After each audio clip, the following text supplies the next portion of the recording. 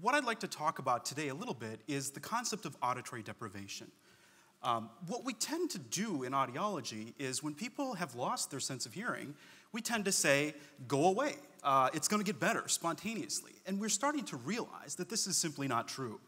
Um, one of the things that also complicates this is the lack of process consistency in the field. And it's a really good point to make, in fact, to talk about the PechaKucha, right? Why would you do a PechaKucha? Well, it's a pretty easy answer because you want a consistent process. Uh, I see that as a meta reflection on the field at large, where we really suggest that decline in speech cognition uh, is really a factor in wider cognitive decline. Traditionally, what we'll do is go through a long process. We, we take the case history, we measure pure tone audiometry, and if we're lucky, uh, people might say, Well, I recognize those sounds because they're from the, the, someone swearing on the television or getting out of my automobile, or something like that. Um, but what we realize is that this process is inconsistent. So, what can we do about this? What can even be done? What we want to do is, is avoid this long and involved road that people might choose to say, we don't want to engage with this. We think that it's inaccessible. It's something that we, we can't understand, how we are not getting benefit. We have all the gain in the world we need, our real ear measures are great, but we still don't find the benefit. What can we do about that? Uh, and we realize as we look through this, there is a lack of process consistency in the field. Um, the idea being, more people choose to live in hell with hearing loss uh, than to choose the heaven uh, of finding a solution, a real solution. And a lot of what we've talked about in this conference uh, is really optimistic. It makes me really optimistic about the field, but this results in low penetration in some markets that we see today, uh, especially the US. Uh, but we're doing better. So, what did we want to do about this? We wanted to take a deep dive, very deep, and we wanted to see uh, what were the undergirding factors for all of this? What can we do? And we, we arrive at uh, a similar conclusion to, to the former speaker here, where it's in the brain. We really think that and that when we're using like the NAL-NL2 and such, uh, it relates to factors that are in the brain. And so what we realize there is that doing prescriptive fitting rationales isn't the answer. It's really patient involved, active training, goal directed focus. And that's a really important detail. And I would say more generally in healthcare, not just in audiology, but most especially in audiology.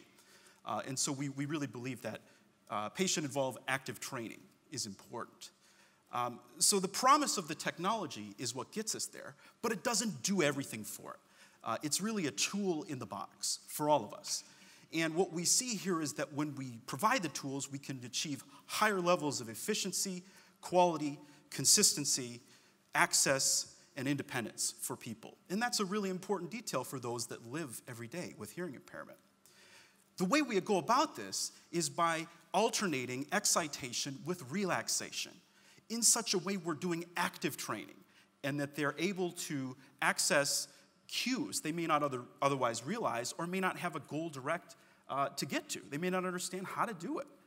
Uh, if you're really interested in this, please come to the, uh, the workshop tomorrow. I'd love to tell you about it. Um, but what we're really talking about here, more specifically and more, more abstractly in this talk, is rehabilitating the auditory pathways.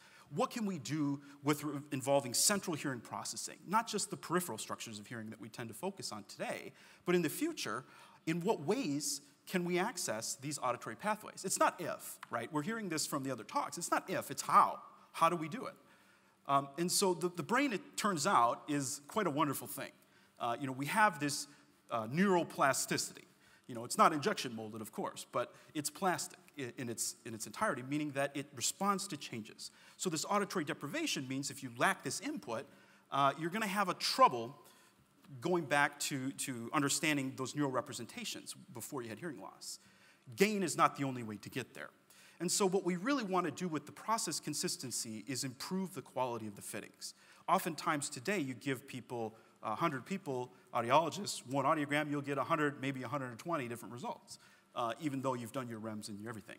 So quality is a really important message, and it's going to be extremely important to drive consistency in this entire process. So that's really the message I want to leave you guys today as far as the future of this field is it's going to relate heavily on process consistency, not variability. We really want to reduce the variability that we see in our fittings today. Um, there are certain vehicles that we can use to get there, of course, Uh, but it, we will go into more detail in those in the workshops. Uh, and so it's worth reinforcing, of course, consistency. We really want to get there. Um, and so the idea being we can continually auto adjust things with the wireless or with the telehealth or with the other things that we're doing, but it must be a process. And so not only must it be a process, but it also must be consistent, even though we know that there's variability among those with hearing loss. So we have this slide once again, you see, because it's so important. That's why I want to reinforce it. Um, and so that's where brain training is it's the key, is, is we really understand that that's the lowest underlying system that we're dealing with here. And so what we're talking about really isn't selling a device. We're not selling a product on a peg. We're selling a process. And to do so, we must be consistent. This was going to help if we can get there in the future to help us get faster access, faster rehabilitation, and always doing things a little bit more efficiently. But remember, it's never about speed, even though the slide says so. It's about accuracy. Speed will come when we have a consistent process that's accessible and repeatable among people. Affordability. It's very important for people as part of access in many ways to have solutions that they can use that are not only accessible but also affordable for them. Things that uh, could encompass you know, remote microphones, for example, or wireless programming of their instruments. A lot of times, many of these people don't even have smartphones. Um, but it's changing, and we hope to capitalize on those technologies in order to get us to a point where we're removing the inaccessibility and just leaving people with accessibility. That's one of the really important details to doing the brain training uh, in the ways that we talk about in the workshops. But compared to the traditional resource demand approach, we have all this calibrated equipment and all these things that we deal with, and in many ways that can make things inaccessible. So if we are successful in doing this and implementing it, we will achieve great outcomes with people. And we hope that this represents the first step to the future that starts today. Thank you.